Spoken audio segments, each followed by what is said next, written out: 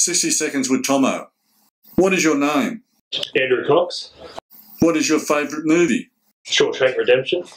What team did you support or play for as a kid? Uh, supported Parramatta Eels. Um, played for uh, Hills Rugby Union um, and Parramatta Rugby Union. What was the first position you played in rugby and your position now?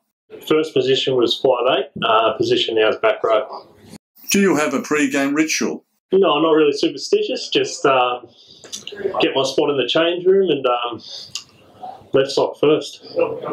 What is the hardest thing about playing rugby?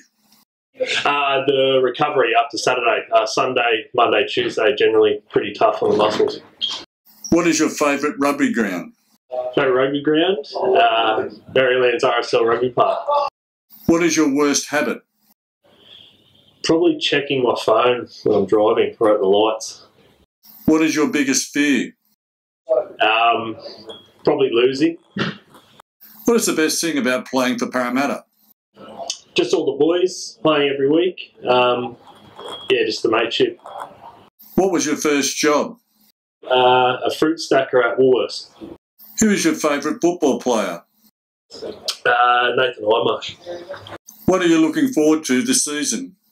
Uh, making the finals and having a good crack at it. Is there anything you would like to add?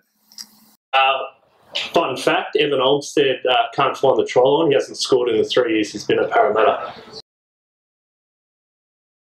He's just annoying, Canadian, um, oversized. He's got that whiny, high pitched voice. Sure does. Um, and he sends those annoying Snapchats throughout the day. I daily. Yeah. Um, yeah, I don't know how someone goes to the toilet 10 times a day. Yep. Yeah.